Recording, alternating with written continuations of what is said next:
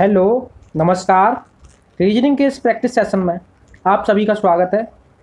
कैसे हो आप सभी लोग? आशा करता हूँ कि आप सभी लोग ठीक होंगे और आपकी पढ़ाई अच्छे से चल रही होगी। तो हमारी ये रीजनिंग की क्लास रेगुलर हो रही है, जो यूपी पुलिस एसएससी और जो यूपी टू प्लस सी का आने वाला जो पैट है, उन सभी एग्ज़ाम्स के लिए इम्पोर्टेंट है। और इसी चैनल पर हमारे टारगेट सीकर पर ही जीके की भी क्लास आ रही है रेगुलर। उसे बोलते हैं ऑपरेशन क्लास। अगर आप उसे नहीं कर रहे हो तो आप उससे भी रेगुलर स्टार्ट कर दो। वो विभिन्न एग्ज़ाम्स में आने वाले जो एक्सपेक्टेड क्वेश्चन हैं, उनको लेकर चलाई जा रही है। चाहे वो यूपी पुलिस हो, चाहे वो एसएससी का कोई सा भी एग्ज़ाम हो, चाहे वो पैट हो, या और कोई भी एग्ज़ाम आने वाला हो, उन सभी के लिए जीके की क्लास ऑपरेशन वाइज हर एक ऑप्शन उसमें कंप्लीट करके बताया जा रहा है एनालिसिस करके बताया जा रहा है। ठीक है ना? आप उसे भी रेगुलर कर लीजिए। और जो साथी आप चैनल पर नए आए हो वो प्लेलिस्ट के माध्यम से इन सभी क्लासेस को कंप्लीट कर लीजिए। तो आइए आज के फ़र्स्ट क्वेश्चन पर चलते हैं, जो आपको व्हाइट बोर्ड पर दिखाई दे रहा है। प्रश्न क्या है? दिए गए प्रश्न में लुप्त पद ज्ञात करना है। ठीक है ना? तो आप देख रहे हो, ये क्वेश्चन मार्क हमें निकालना है। ठीक है ना? तो आप ध्यान से देखो तो यहाँ हम देख रहे हैं जो बड़े में से छोटा घटाते हैं, नौ में से दो घटाएँ नाइन में से दो घटाते हैं तो मिलता है हमको सात। ठीक है ना? और सात का अगर हम क्यू कर दें तो ये अंदर वाली संख्या हमको प्राप्त हो रही है।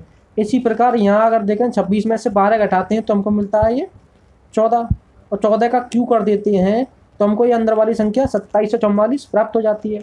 इसी प्रकार आठ में से दो घटाते हैं छः और छः का क्यू कर देते हैं तो हमको मिलता है दो सौ सोलह अब इस क्वेश्चन मार्क को हम कैसे निकालेंगे? क्वेश्चन मार्क बराबर हम क्या करेंगे? बाईस में से दस घटाएँगे तो हमको क्या मिलेगा? बारह। और बारह का अगर हम क्यू कर दें तो हमको मिलता है सत्रह सौ अट्ठाईस। तो हमारा कौन सा ऑप्शन सही है यहाँ से? आप देख रहे हो यहाँ से हमारा ये डी ऑप्शन राइट है। ठीक है ना? ये क्या है हमारा? आंसर तो हमने कैसे निकाला ये? इसमें क्या है? दोनों को घटाना है, अंतर निकालना है इनका, उस अंतर का क्या कर देना है? क्यूब कर देना है, धन कर देना है, ठीक है ना? क्या कर देना है? धन कर देना है बस। वही क्या होगा हमारा? आंसर समझ आया होगा आपको? आगे चलते हैं, अपने सेकंड क्वेश्चन पर। सेकंड क्वेश्चन क्या दे रखा है? दिए गए विकल्पों में से उस संख्या का चयन करें जो निम्नलिखित श्रेणी में प्रश्न चिन्ह के स्थान पर आ सकती है। अब आप देख रहे हो यहाँ बाईस, तेईस, छब्बीस, ठीक है ना? सत्ताईस, तीस, इकतीस और क्वेश्चन मार्क तो हमें ये क्वेश्चन मार्क की जगह क्या आएगा? ये हमको देखना है। तो आप यहाँ से देख रहे हो बाईस। बाईस से तेईस बना होगा प्लस वन करके। फिर तेईस से अगर छब्बीस देखें तो छब्बीस ये कितना है? प्लस तीन करके। छब्बीस से फिर सत्ताईस प्लस वन फिर तीन। इस तरीके से ये पैटर्न चल रहा है यहाँ। आप इस तरीके से भी निकाल सकते हो और एक पैटर्न चल रहा है यहाँ। क्या? आप ध्यान से देखो, बाईस में अगर हम चार जोड़ दें कितना जोड़ते हैं हम? प्लस चार। ठीक है ना? तो ये छब्बीस। और छब्बीस में प्लस चार जोड़ते हैं, फिर तीस। और तीस में प्लस चार जोड़ते हैं तो ये क्या मिलता है? ये मिलता है हमारा चौंतीस। ठीक है ना? तो यही क्या हो रहा है हमारा आंसर और तेईस में, जब बाईस में चार जोड़ते हैं तो छब्बीस आता है इसी प्रकार। तेईस में कितना जोड़ते हैं हम? चार जोड़ देते हैं। सभी में क्या हो रहा है? चार जोड़ जोड़ के सत्ताईस। सत्ताईस में चार जोड़ देते हैं, इकतीस। ठीक है ना? इस तरीके से इस क्वेश्चन मार्क को हमने यहाँ निकाला। ठीक है ना? समझ आया होगा आपको? तो हमारा कौन सा ऑप्शन सही है? हमारा सी ऑप्शन राइट है। ठीक है ना? सभी में क्या हो रहा है? प्लस फोर कर करके या आप इस तरीके से भी निकाल सकते हो। या दूसरा पैटर्न प्लस वन करने पर भी और थ्री करने पर भी। प्लस वन कर दो पहले। ठीक है ना? फिर प्लस थ्री कर दो। या अगर बाईस में प्लस वन करते हैं, तेईस। तेईस में प्लस थ्री करते हैं क्या होता है? छब्बीस छब्बीस में फिर प्लस वन करते हैं। सत्ताईस सत्ताईस में प्लस थ्री करते हैं थर्टी और थर्टी में प्लस वन इकतीस इकतीस में प्लस थ्री करोगे आप। तो ये क्या आता है? थर्टी फोर ठीक है ना? क्या आएगा ये? थर्टी फोर तो हमने ये, आप दोनों लॉजिक को आप निकाल सकते हो। कोई सा भी लॉजिक आप यहाँ लगा लीजिए। ठीक है ना? रीजनिंग है रीजनिंग को आप के दिमाग में पैटर्न आना चाहिए आप कोई सा भी लॉजिक आपका लग सकता है। ज़रूरी नहीं है। इन दोनों लॉजिक के अलावा भी कोई भी तीसरा लॉजिक यहाँ लग रहा होगा। रीजनिंग ऐसे ही चलती है। ठीक है ना? आगे चलते हैं। अपने नेक्स्ट क्वेश्चन पर। थर्ड क्वेश्चन थर्ड क्वेश्चन क्या बोल रहा है आप? देखिए, राम मनु की अपेक्षा अधिक लंबा है, परंतु उतना नहीं जितना रवि है। अनु दिलीप की अपेक्षा अधिक लंबा, परंतु मनु की अपेक्षा छोटा है। सबसे अधिक लंबा कौन है? तो आपको देखना सबसे अधिक लंबा। तो आप ध्यान से देख रहे हो यहाँ, जो राम है ना स्टार्टिंग लाइन अगर आप पढ़ते हो, राम मनु की अपेक्षा अधिक लंबा है। राम जो है, वो मनु से तो लंबा है। जो बड़ा होगा या लंबा होगा या अधिक होगा, उसे आप रखोगे ऊपर। तो राम किससे लंबा है? मनु से तो लंबा है। तो मनु आ जाएगी नीचे। ठीक है ना? मनु की अपेक्षा अधिक लंबा, परंतु उतना नहीं है जितना रवि। तो रवि राम से भी लंबा है यहाँ तो रवि कहाँ आ जाएगा? और ऊपर आ जाएगा।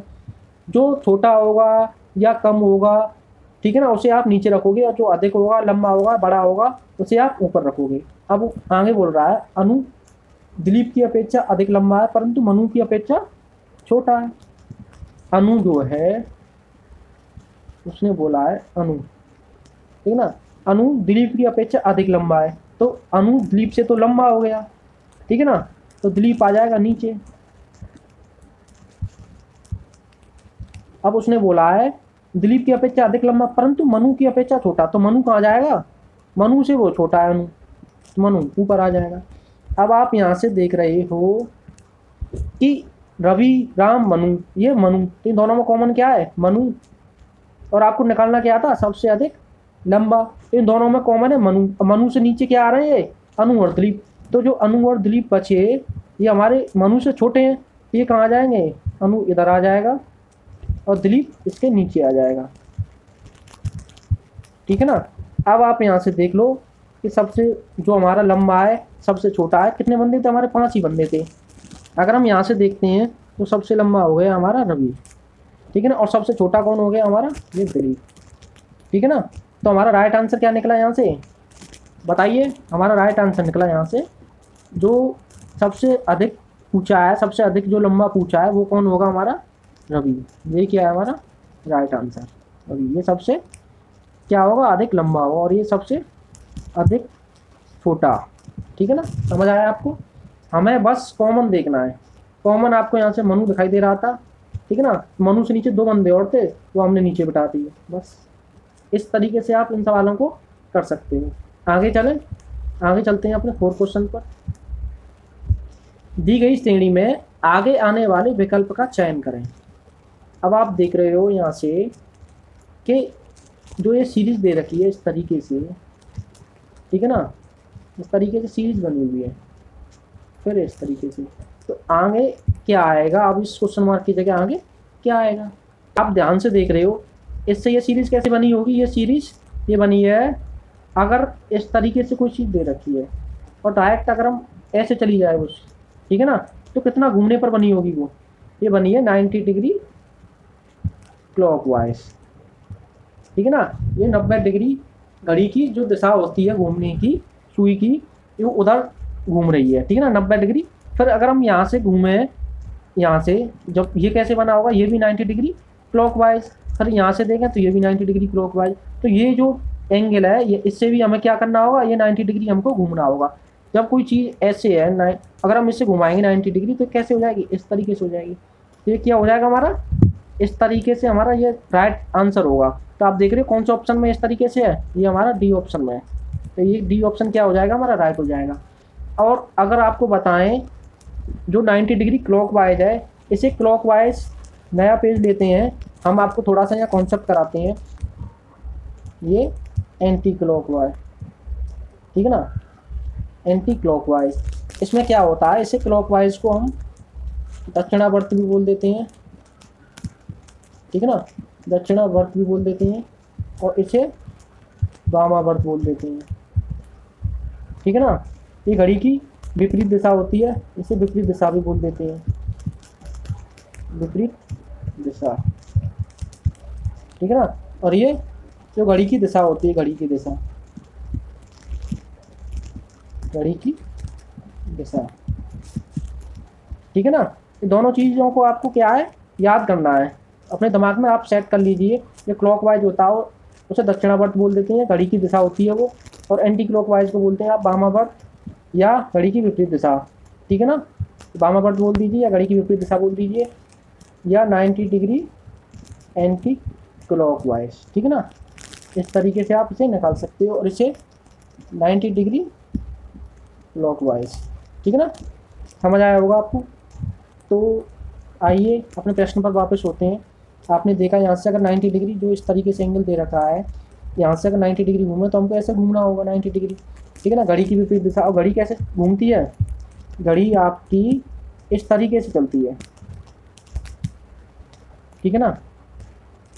मान लीजिए ये हमारी क्लॉकवाइज तो क्लॉकवाइज घूमना होगा तो वो इस तरीके से चलेगी। इस तरीके से घूमेगी, इस तरीके से, ठीक है ना? इस तरीके से घूमेगी और एंड इसे बोलते हैं क्लॉकवाइज और एंटी क्लॉकवाइज होगी तो वो किस तरीके से चलेगी, वो इस तरीके से चलेगी।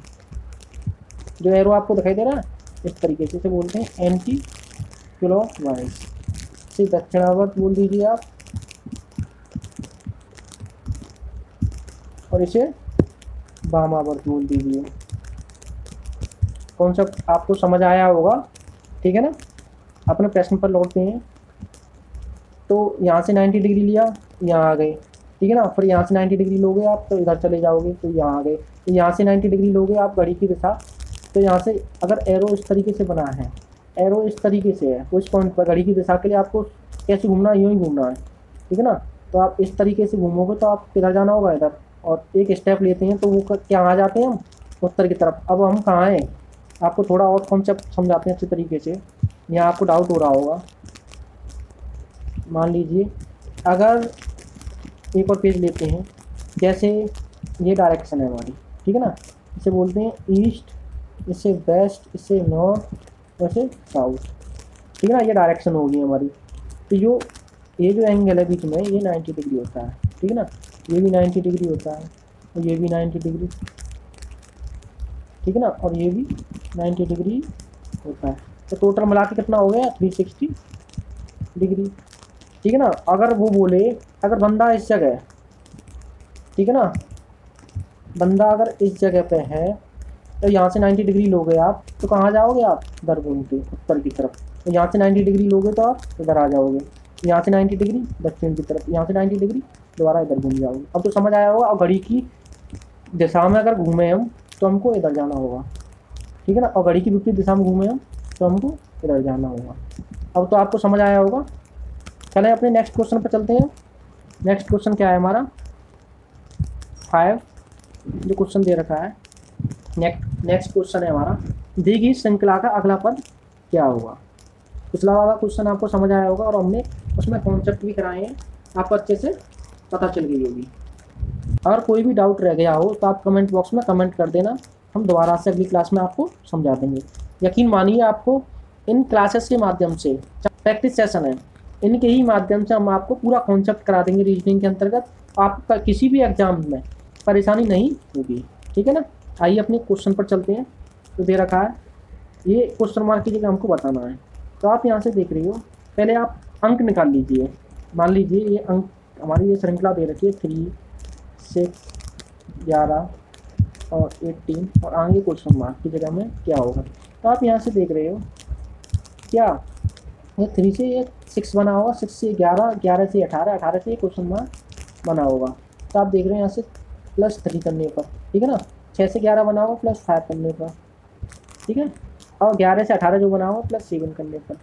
तो आप देख रहे हो सभी में क्या हो रहा है? सभी में दो दो जोड़ के आ रहा है, आ रहा है, ठीक है ना? सभी में दो जोड़ा जा रहा है। तीन में प्लस दो कर देते हैं, पाँच। पाँच में प्लस दो करते हैं सात। तो यहाँ भी क्या हो रहा होगा? प्लस दो करेंगे। तो क्या आ रहा होगा यहाँ? नाइन नाइन किसमें जोड़ा जा रहा जा रहा होगा? अठारह में अठारह में और नाइन जोड़ेंगे हम। तो क्या मिलता है हमको? सत्ताईस। तो आगे क्या आ रहा होगा हमारा? सत्ताईस। जो अंक यहाँ आ रहा होगा, वो आ रहा आगे सत्ताईस। अब पीछे देखना हमें ये लेटर क्या आ रहा है, ठीक है ना? अंक तो हमको पता चल गया। हमारा कौन सा ऑप्शन गलत हो गया? यहाँ से ए ऑप्शन गलत हो गया और बी ऑप्शन गलत हो गया। बचे हमारे दोनों ऑप्शन बी और सी अब आप देखना है आपको इस लेटर में क्या आ रहा होगा। आप देख रहे हो जी ठीक है ना? जी जी के बाद एच एच के बाद जे जे के बाद एम और एम के बाद ये क्वेश्चन मार्क अगर हम यहाँ देखें ध्यान से तो जी का जो ऑर्डर होता है, वो होता सात। ठीक है ना? एच का आठ जे का दस और एम का तेरह। तो आप देख रहे हो यहाँ से सात से ये क्या बना है? प्लस वन करके आठ बना है। फिर आठ से प्लस दो करने पर, ठीक है ना? फिर प्लस तीन करने पर। तो फिर तेरह में क्या आ रहा है? ये प्लस चार करने पर यहाँ बना होगा ये क्वेश्चन मार्क। तो अब तेरह में चार करते हैं तो हमको मिलता है ये सत्रह। और सत्रह क्या होता है? क्यू सत्रह पे क्या होता है? क्यू तो आपको पता चल गया ये ये जो दो ऑप्शन बचे हैं डी और सी इसमें से क्या आ रहा होगा हमारा क्यू ठीक है क्या आ रहा है क्यू हमारा कौन सा ऑप्शन सही निकला यहाँ से? बी ऑप्शन हमारा सही निकला। समझ आया होगा आपको? कैसे किया हमने समझ आया आपको? आगे क्या हो रहा है? अंकों में प्लस तीन प्लस पाँच प्लस सात। ठीक है ना? इस तरीके से प्लस नौ। और जो लेटर दे रखे हैं, उनमें क्या हो रहा है? Plus one plus two plus three plus two इस तरीके से हो रहा है। ये क्या है हमारी? नंबर सीरीज़ का क्वेश्चन था। आगे चलते हैं अपने। नेक्स्ट नेक्स्ट क्वेश्चन पर। ठीक है ना? यदि ए का अर्थ जोड़ना, ये क्वेश्चन दे रखा है हमको ए का अर्थ जोड़ना, ठीक है ना? और बी का अर्थ घटाना सी का जो अर्थ है वो गुणा करना और डी का अर्थ है भाग करना। तो दी गई समीकरण का मान क्या होगा? ठीक है ना? ये हमको दे रखा है। तो उसने क्या बोला? एक अर्थ क्या दे रखा है उसने? एक अर्थ बोला उसने जोड़ना। ठीक है ना? एक अर्थ उसने बोला है जोड़ना। ठीक है? और उसने बी का अर्थ बोला है घटाना घटाना सी का अर्थ उसने बोला है, गुणा करना। ठीक है ना? गुणा करना।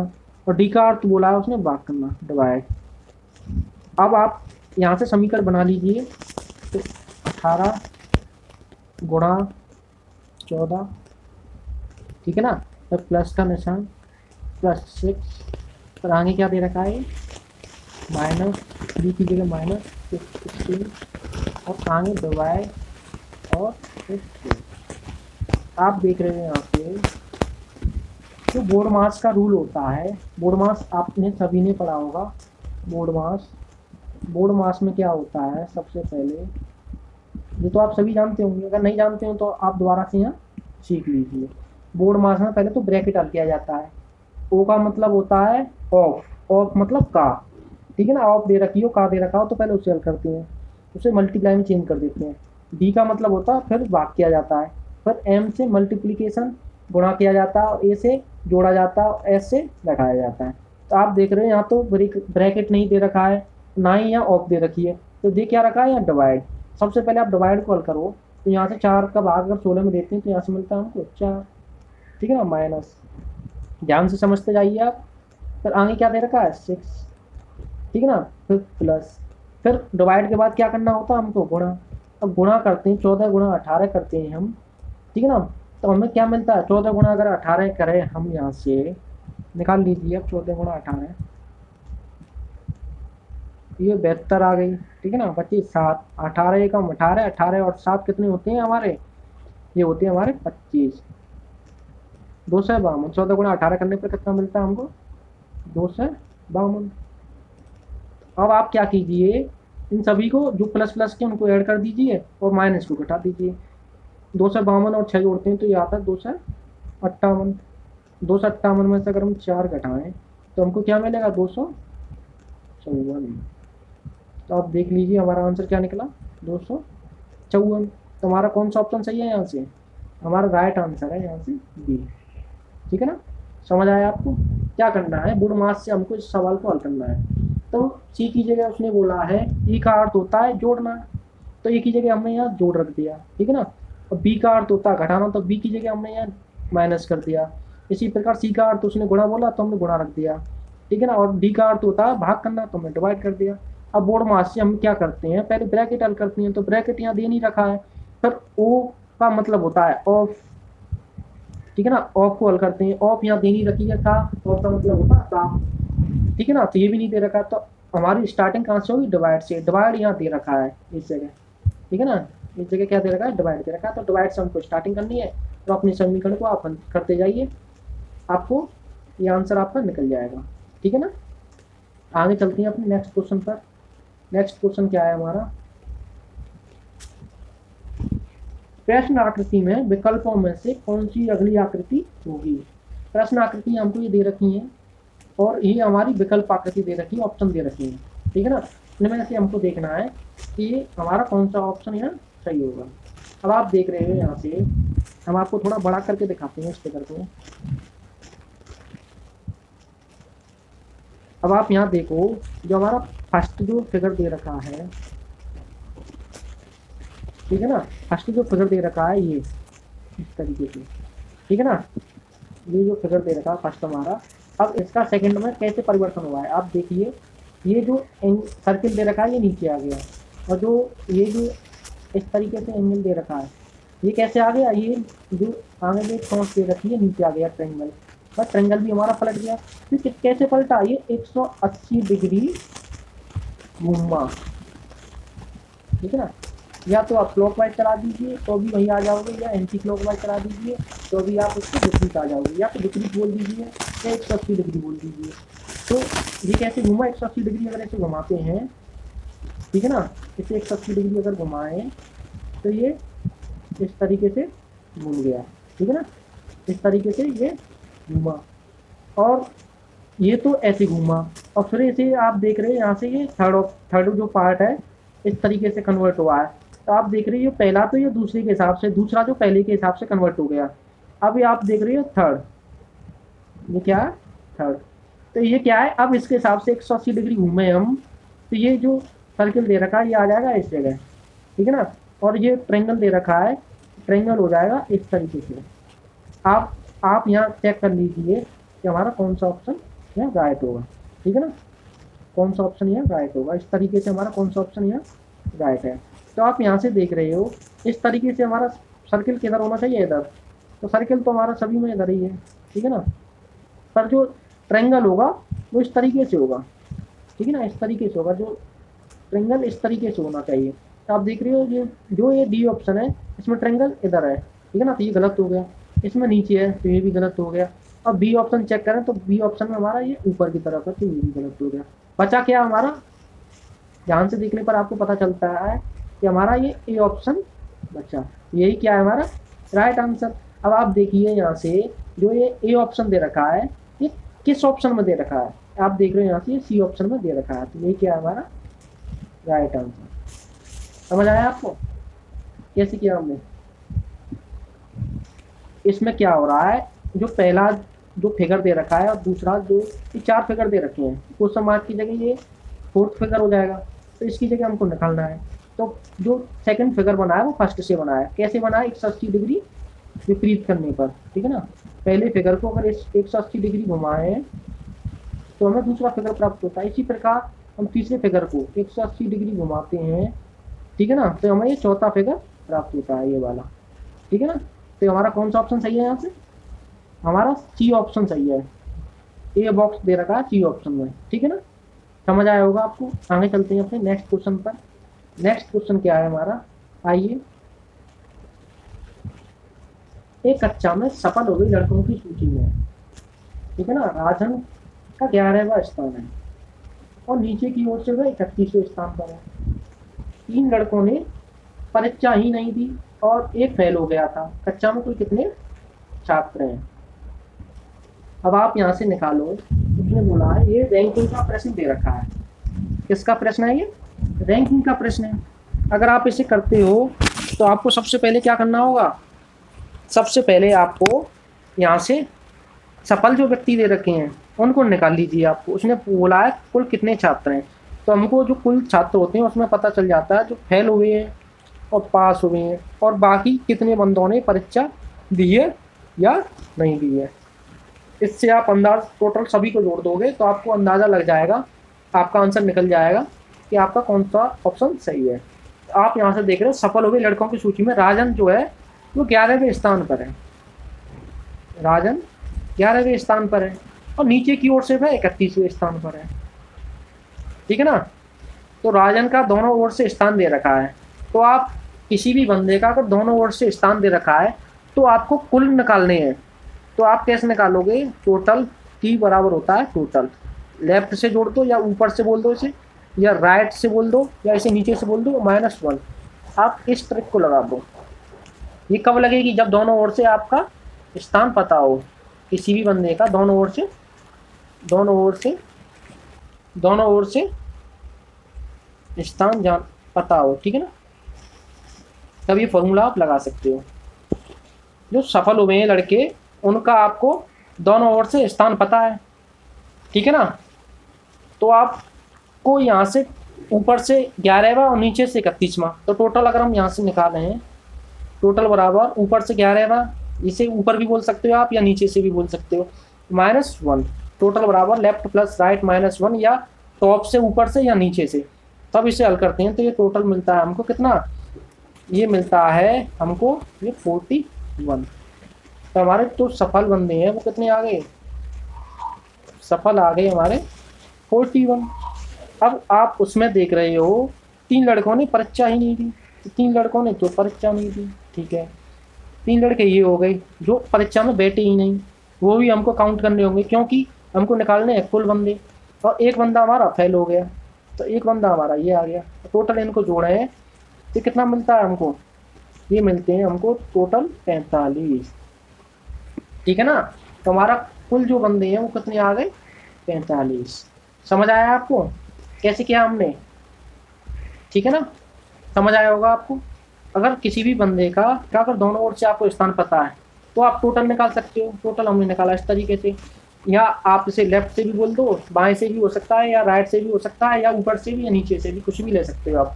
माइनस वन और कर दो। दोनों ओर से स्थान अगर आपको पता है तो आप इस फॉर्मूले का प्रयोग करके टोटल निकाल सकते हो। अब आपको पता चले गए सफल बंदे। सफल कितने हमारे? ये इकतालीस ठीक है ना? सफल बंदे थे हमारे। इकतालीस। अब उसमें तीन लड़कों ने परीक्षा नहीं दी। ये जो ये तीन लड़के इन्होंने परीक्षा नहीं दी। ये हमने ऐड कर दिए। और एक बंदा हमारा फेल हो गया। ये हो गया हमारे पास। ये तीन बंदों ने परीक्षा नहीं दी और एक बंदा हमारा फेल हो गया। इन टोटल सभी को जोड़ दो तो आपको क्या आंसर निकल रहा है यहाँ से? पैंतालीस। यही क्या है हमारा? राइट आंसर समझ आया होगा? तो आप, हमारा कौन सा ऑप्शन सही है यहाँ से? सी ऑप्शन समझ आया आपको? आगे चलें। आगे चलती हैं अपनी। नेक्स्ट क्वेश्चन पर। दी गई प्रश्न आकृति श्रृंखला में क्वेश्चन मार्क के स्थान पर कौन सी उत्तर आकृति आएगी? अब आप देख रहे हो यहाँ से, ये जो फिगर दे रखे हैं, थोड़ा बड़ा करके दिखाते हैं आपको। इस क्वेश्चन मार्क की जगह हमको निकालना है, ठीक है ना? तो आप देख रहे हो यहाँ से जो ये सर्किल दे रखा है, ठीक है ना? और ये क्या दे रखा है? स्क्वायर दे रखा है। तो आप देख रहे हो यहाँ से जो सर्किल डबल जो आकृतियाँ दे रखी हैं सर्किल की, ये बाहर क्या हो गई? सिंगल हो गई। और जो स्क्वायर सिंगल दे रखा है, वो अंदर जाके डबल हो गया। ठीक है ना? ये ट्रिक चल रही है। तो आप यहाँ से देख रहे हैं, जो ये छल्ला दे रखा है, ये बाहर दे रखा है। अगर अंदर जाएगा तो ये इस तरीके से हो जाएगा। ये तो सर्किल हो गया।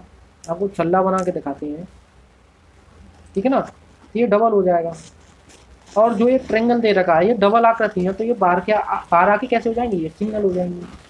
तो आप बस इसी लीजिए किस ऑप्शन में दे रखा है। तो ये तो डी ऑप्शन हमारा गलत हो गया। ठीक है ना? सी भी ऑप्शन गलत हो गया क्योंकि दोनों में ही क्या है ये? छल्ले छल्ले दे रखे हैं। और आप अगर ये ऑप्शन चेक करें तो इसमें सिंगल आकृति दे रखी है। होना क्या चाहिए? डबल आकृति होनी चाहिए। तो यहाँ से आप देख रहे हो बी ऑप्शन बी ऑप्शन में क्या दे रखा है? ये ट्रेंगल भी दे रखा है और ये छल्ला भी दे रखा है। तो ये क्या हो जाएगा हमारा? राइट आंसर हो जाएगा। अब आप देखिए ये किस ऑप्शन में दे रखा है। ये दे रखा है हमारा सी ऑप्शन में। किस ऑप्शन दे रखा? सी में ये क्या हमारा राइट आंसर समझ आया? जो बाहर जो आकृति दे रखी, जो डबल आकृति है, वो बाहर आ जाती है और सिंगल बन जाती है। और जो बाहर जो आकृति दे रखी है, वो अंदर जाके डबल हो जाती है। बस यही आपको करना था। चले अपने नेक्स्ट क्वेश्चन पर। नेक्स्ट क्वेश्चन है हमारा, आज की क्लास का लास्ट प्रश्न एक्स ये हमारा ब्लड रिलेशन का प्रश्न दे रखा है। ब्लड रिलेशन का प्रश्न दे रखा है रक्त संबंध। ठीक है ना? आइए, इस प्रश्न को करते हैं। इस प्रश्न को करने के लिए कल हमने एक ट्रिक बताई थी आपको थोड़ा सा कॉन्सेप्ट बताया था। अगर जो किसी भी साथी ने पिछली क्लास नहीं की हो तो उनको पहले जाकर आप कंप्लीट कर लीजिए क्या है डेली वाइज डेली हमारी क्लास में लेवल अप होता जा रहा है। ठीक है ना? और कॉन्सेप्ट हम रेगुलर कराते जा रहे हैं आपको। तो आपको क्या है रही रेगुलर क्लास लेनी है, जिससे क्या है, आपको कोई भी कॉन्सेप्ट आपका मिस ना हो। आप यहाँ से देख रहे हो एक्स और बाई क्या है? ये भाई है। तो भाई के लिए हमने बताया था, बीच में क्या लेना है हमें? एक सिंगल लाइन लेनी है। ठीक है ना? और जो भाई हैं तो ये क्या हो गया आपस में हो गए। तो हमको ये बॉक्स से दिखाने हैं। भाई, बहन हो, जो एक ही पीढ़ी के बंदे होते हैं, उनके लिए एक सिंगल लाइन ले लेते हैं। अब उसने बोला आर बाई का पिता है। आर जो है, वो बाई का पिता है। तो पिताजी तो हमसे ऊपर आने चाहिए। तो आर कौन है हमारे? पिता हो गए। और पिता हैं तो ये क्या हो गए? मेल हो गए। तो आर हो गए हमारे पिताजी। ठीक है, और ठीक है ना? अब उसने बोला है, एस टी का भाई है। एस जो है, यहाँ बना लेते हैं। एस एक मेल है। किसका भाई है? टी का भाई है। अब टी का जेंडर हमको पता नहीं है। और आगे बोला उसने, भाई है एक्स का, और एक्स का मामा है। एस जो है, वो टी का तो भाई है। ठीक है ना? और एक्स का मामा है। ध्यान से आप समझिए यही। एस टी का तो भाई हो गया और एक्स का मामा है। एक्स का मामा। और एक्स कहाँ है हमारी? एक्स यहाँ पे है हमारी। और एक्स का मामा कब होगी? पहले तो एक्स की माँ होनी चाहिए। माँ, जब ये माँ है और ये एक्स का भाई है, ये पिता है भाई के तो ये भी क्या होंगे? एक्स के पिता होंगे। और ये आपस में क्या होना चाहिए? पति, पत्नी। ठीक है ना? एक्स के ये पिता हो गए, ये माँ हो गई। ठीक है।